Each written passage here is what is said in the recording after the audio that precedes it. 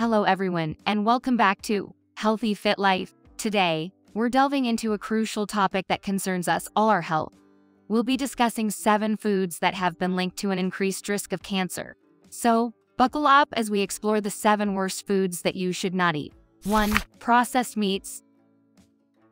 Our journey begins with a staple in many diets processed meats, from hot dogs to bacon. These foods are often packed with preservatives, additives, and high levels of sodium. Studies suggest that regularly consuming processed meats can elevate the risk of colorectal cancer. So, it might be time to reconsider that daily ham sandwich. 2. Sugary beverages. Next on our list are sugary beverages. Sodas, energy drinks, and even some fruit juices can be culprits here. High sugar intake has been linked to various health issues, including obesity and insulin resistance. Some studies also point to a connection between sugary drinks and an increased risk of certain cancers. Perhaps it's time to swap that soda for a healthier alternative. 3. Red and processed meats.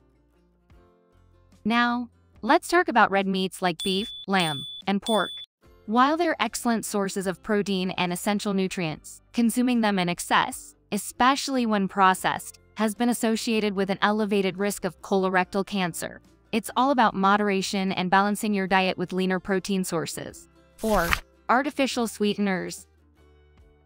In our modern quest for low-calorie alternatives, artificial sweeteners have become commonplace. However, some studies have suggested a potential link between these sweeteners and certain cancers. It's essential to be aware of what you're putting into your body, and perhaps consider natural sweeteners like honey or maple syrup instead. 5. Hydrogenated oils. Hydrogenated oils, often found in fried and processed foods, are next on our list. These oils contain trans fats, which have been associated with an increased risk of heart disease and, you guessed it, certain types of cancer. Opting for healthier cooking oils, like olive or avocado oil, could be a smart change that makes a big difference. 6. Charred and grilled meats.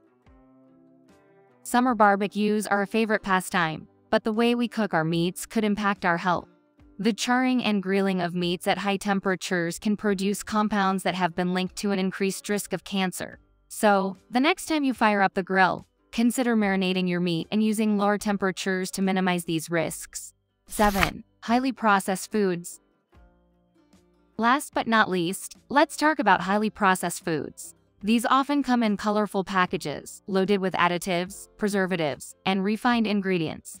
Studies have suggested a correlation between a diet high in processed foods and an elevated risk of various cancers. Choosing whole and processed foods whenever possible can be a significant step towards a healthier lifestyle. There you have it, the 7 worst foods that you should be cautious about including in your diet. Remember, moderation and a well-balanced diet are key. If you found this information helpful, don't forget to like this video and subscribe to our channel for more insightful content. Take care of your health. And until next time, stay well.